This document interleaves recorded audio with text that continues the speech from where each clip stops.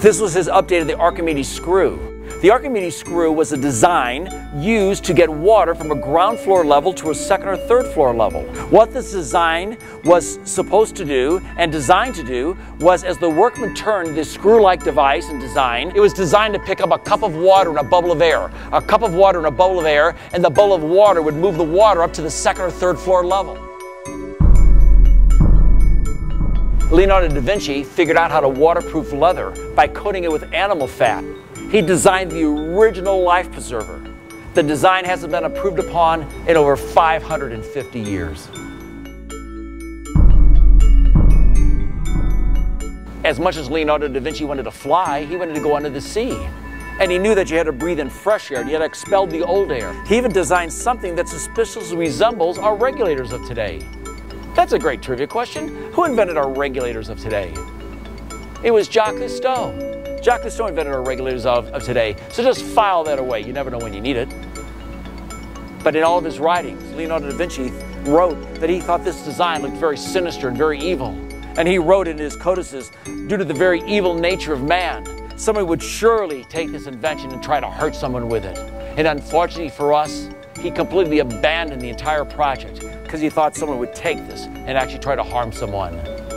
So we had to wait another 500 years for Jacques Cousteau to invent the regulator. Since the tour has begun, you've heard me say the word codis quite a bit. A codis is basically a large book of the day. When Leonardo da Vinci died, they put all of his drawings into these huge things called codices. In 1966, a monk was going through one of Leonardo da Vinci's old codices that had been gone through a thousand times before. As he was paging through the book, he felt that one of the pages in the book felt a little bit thicker than the other pages. He thought that was a little strange, so he began to play with the page and he began to peel it apart. And as he began to peel it apart, he discovered that there had been two pages that had been stuck together for over 500 years. Do you know what was on the other page? The bicycle. Leonardo da Vinci designed the original bicycle. But more important than inventing the bicycle was he invented the link chain that operated it. As the energy is being created, it's being transferred from one gear to another gear to another gear to help sustain this task easily. Leonardo's biggest problem was he couldn't make the chain because casting hadn't evolved that far yet. So they theorized that he used rope and leather and straps and strings to perform this function. In 1497, Leonardo da Vinci designed the original ball bearing. Over the last 550 years, the material has changed, the manufacturing processes have changed, but his basic design has withstood the test of time. I was giving this one tour to this group of eighth graders not too long ago, and I asked them simply during my tour, I said, hey, where do we use the ball bearing? And all 30 of them, there were 15 guys and 15 girls, they all looked at me like they didn't know what I was talking about. And they said, I don't know. And I went, oh my goodness. In every wheel that turns has a ball bearing. Every car wheel, every manufacturing wheel, every rollerblade, every bicycle, every skateboard has a ball bearing. Every wheel that turns around in a circle has a ball bearing. And Leonardo da Vinci designed it. They have been able to improve upon it in 500 years. This is Leonardo da Vinci's famous gear study. This is predecessor to all of our modern day gearing system, all of our modern day cars. As the energy is being created by the workman, it's being transferred from one gear to another gear to another gear and being able to be sustained easily. On Leonardo da Vinci's own design, he figured out very quickly there were two major problems with his own design. First of all, the problem was that the friction in it would wear it down. The second problem was if one or two or three or four of the teeth broke off on the gears, the entire gear would shut down. You know what? Leonardo da Vinci figured that out. He was Leonardo da Vinci. He designed what he called the original worm screw that we call the corkscrew mechanism. As the energy is being created by the workman, the energy is being transferred from the worm screw to the gear. There's many different points of contact, much less friction. If one or two or three or four of the teeth broke off, it wouldn't necessarily have shut the gear down. But the most ingenious part about this design was what? That it was an one-way transfer. The energy could be transferred from the worm screw to the gear, but it cannot be transferred in reverse. Where do we use that design every day in our life? Every guitar, every bass, every violin, every cello, every stringed musical instrument uses this exact design. 1497 was a very good year for Leonardo da Vinci. He designed the original ball bearing and he also designed the original cam hammer. What it was, was he figured out by cutting the arc of the wood, as the workman turned the cam hammer device, it would draw the hammer back the same way every time. So you could now have consistent, even pressure, and you could now control the production process. Leonardo da Vinci's first passion in life was painting. His second passion was flight. But his third passion was he wanted to find the secret to perpetual motion. He had small, medium, and large perpetual motion machines. As one weight would drop, it would be replaced by another weight and another weight and another weight.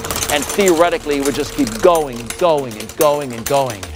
After years of study, experimentation, and trial and error, he finally came to the conclusion that what?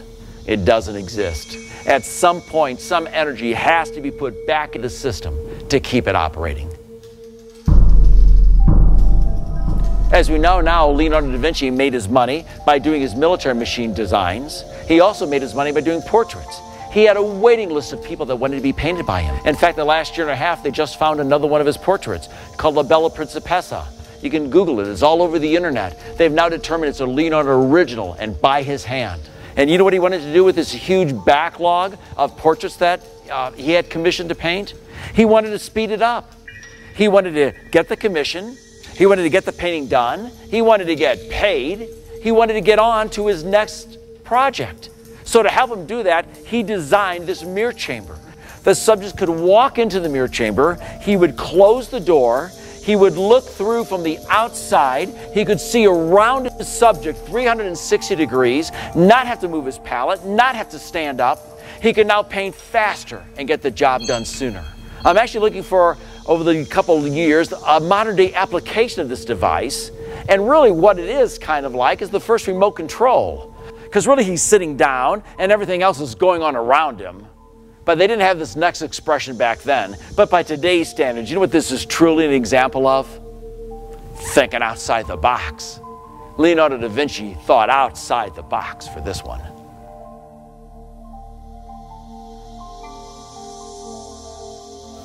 Getting into the heart of Leonardo da Vinci, Leonardo da Vinci was left handed. You know what left, being left handed meant back then? The sign of the devil, the mark of the devil. And all the writing instruments were set up for right handed people. So if you were left handed and you were using a writing instrument of the day and you wrote left to right like we do, it would smear the page. So Leonardo da Vinci taught himself to write left handed backwards from right to left. They call that mirror script. At the Museum of Leonardo da Vinci, they teach young students that every year, and they teach them to do the young students with mirrors. They hold a mirror up to the right hand side of the page and they write from right to left. Can you think of another reason why he wanted to do that? His own copyright. If somebody ran off with his drawings, they'd have a very, very hard time figuring it out. As you may know, Leonardo da Vinci did the first major anatomical drawings in history. In fact, all of our medical drawings today are based upon his original drawings. His best friend died at an early age, and he wondered why his best friend passed away. Leonardo da Vinci performed an autopsy on his best friend. What was that problem? It was against the law, it was a criminal offense. But he didn't care. He wanted to find out why his best friend passed away. He performed an autopsy on his best friend. Can you imagine? He cut open his best friend. He found his best friend's heart, found all the arteries going to his best friend's heart were what? Clogged. And he theorized, and probably correctly, that what his best friend had eaten had killed him. And after that, he became a strict vegetarian. And he lived to be 67 years of age, which was very long for back then. His own apprentices turned him in, and the last years of his life, he had to move from Italy to France, which I'll talk about in just a few minutes. Very recently, 60 Minutes did a magazine article called The Monks of Mount Athos. And Google this when you get a chance. I'd, like, I would love you to pull it up. 60 Minutes sent a film crew over to the monks of Mount Athos monastery where they have been living the same way above the Aegean Sea for the last 550 years. They grow all their own fruits, all their own vegetables, all their own herbs. And you know what? They have no cancer. They have no heart disease. They have no Alzheimer's. So Leonardo da Vinci was right 550 years ago to eat well and to take great care of yourself. What's the problem that's happened over the last 550 years? What's changed? Nothing. We're still eating what's killing us. all the young students that come by this exhibit, they walk by this particular exhibit and they, and they, and they take one look at it and they think, oh, this is nothing. You know what this nothing did? This nothing changed the world that we live in. Leonardo da Vinci figured out by attaching levers to the back of a turning wheel, you would turn circular motion into linear energy. The locomotive, the internal combustion engine, the piston, is all based on this theory and design. Leonardo da Vinci figured out by attaching weights to a moving object that once the energy was being created by the individual, it could be sustained, sustained longer, and sustained evenly. Leonardo da Vinci designed the original flywheel as we know it today. Leonardo da Vinci designed a lantern style wheel. What I mean by lantern style, it's larger at the top and small at the bottom. So to connect the two pieces of the wood, the bars had to be at an angle. So on a central column next to it, all these gears had to be at a different size to connect properly with the lantern wheel. As the workman turned the lantern style wheel, each one of these gears now turns at its own rate. Where do we use that every day? Every automatic transmission is based upon this principle. This is a General Motors 350 cubic inch engine.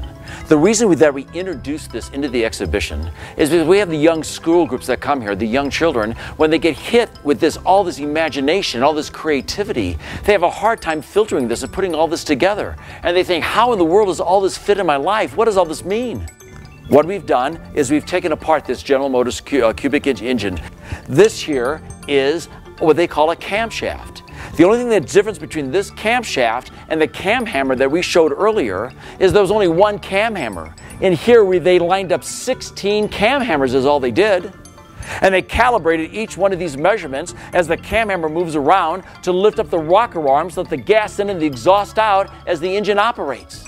Connected to the camshaft is we know what this is now, is Leonardo da Vinci's worm screw that connects the entire camshaft to the engine. On the side over here, is what they call a solid flywheel.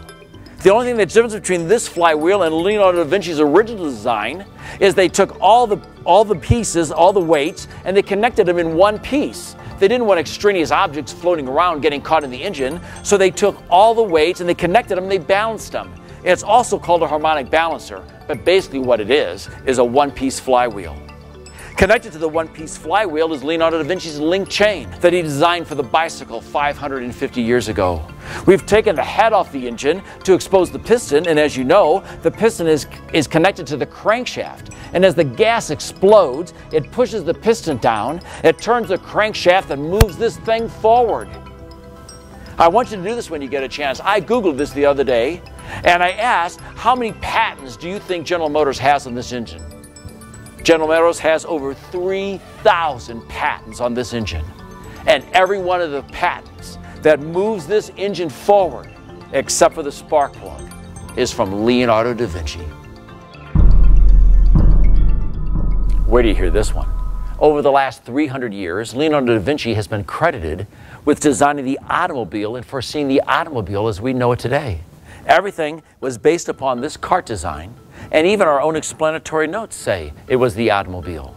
Everything was based upon this design, and the bent wood would be wound up and act like a spring-like mechanism. It would be wound up, it would slowly unwind like a spring-like effect. It would go 50 meters and stop. But we had nothing else to compare it to, so we figured, well, of course he meant the automobile. There was one design problem that we couldn't quite come to terms with. And that is, if you sat or you stood on this cart-like design, it was very unstable. So if he meant this to be an automobile, it would have been very unstable, but we had nothing else to compare to. So we figured, well, of course he meant the automobile. Well, over the last four years at the Museum of Leonardo da Vinci, they're still putting together the pieces of the Da Vinci puzzle. He had 44,000 drawings, of which only 14,000 survived. And plus, he was one of the greatest painters in the world that ever lived. And now they've now determined, you know what? He didn't invent the automobile as we know it today. When he moved from Italy to France the last years of his life, King Francis I welcomed him with open arms to, to France. He gave him a place to stay on his own estate. He gave him a pension that he could live out the rest of his life in peace. The, Francis I was quoted as saying, The only thing I want is the pleasure of Leonardo da Vinci's company. And when Leonardo da Vinci arrived in France from Italy, he wanted to give the King Francis I an unbelievable gift that he could think of. Now we know it wasn't the automobile, but it was the bottom operating mechanism to his mechanical lion robotic design to the King of France. He designed a mechanical lion robot that was designed to be wound up, desi designed to go 50 meters. It was designed to roar up like a lion. And when it roared up like a lion, its chest was to open, and flowers and lilies and doves were to fly out in tribute to the king. How cool is that? So we now know it wasn't the automobile that we always thought it was, but it was another one of his mechanical robotic designs that he gave as a gift to the King of France upon his arrival for welcoming him to France the last years of his life.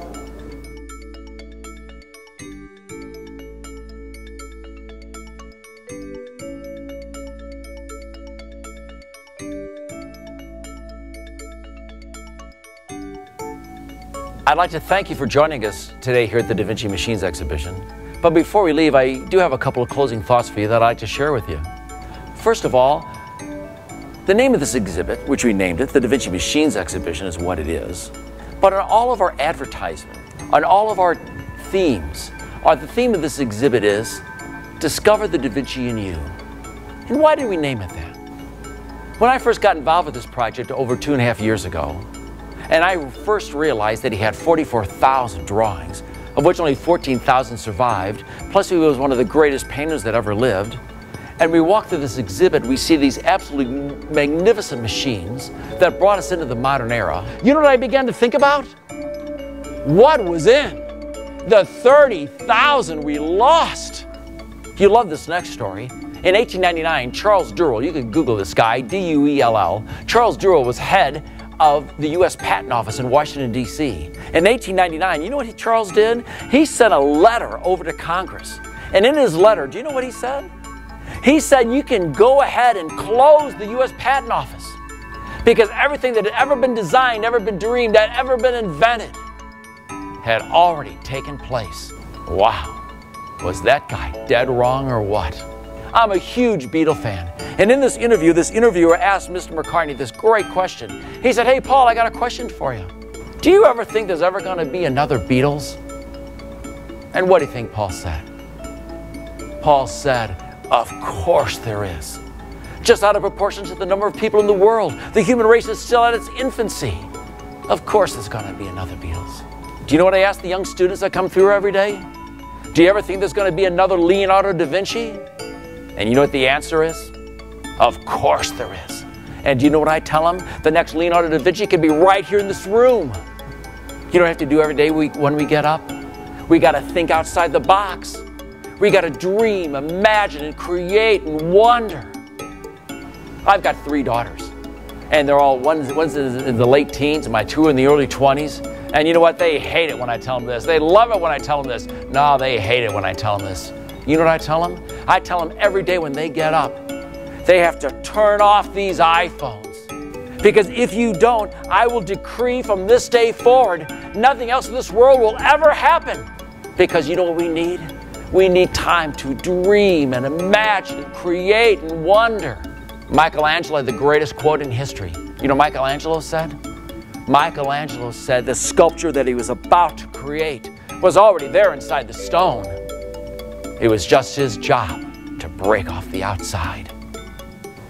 How incredible is that? Do you know what this means? It means we all